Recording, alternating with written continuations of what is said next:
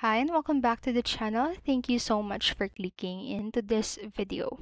So in this video, I am going to teach you how to fix Ark Survival Ascended crashing after opening inventory. So make sure that you stay until the very end of this video so you won't miss an important step or information. And without further ado, let's get on it.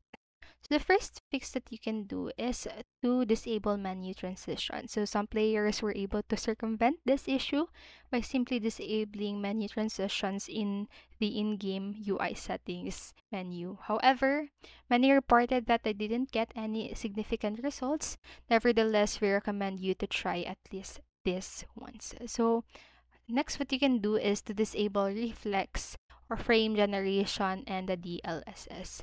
So you can also try disabling NVIDIA Reflex Frame Generation and DLSS from the game settings menu and hope that fixes this issue.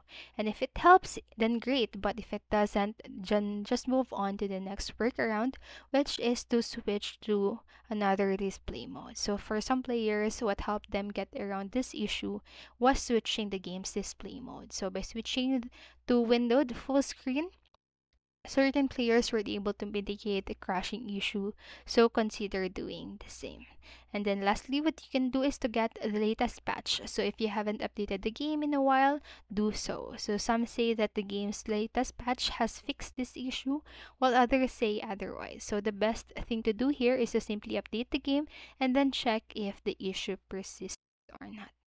And so that's it for this video and I hope this helped you and if it did please make sure to like, subscribe and hit notification bell button so you won't miss a video. Thank you so much for watching and have a great day. Bye bye.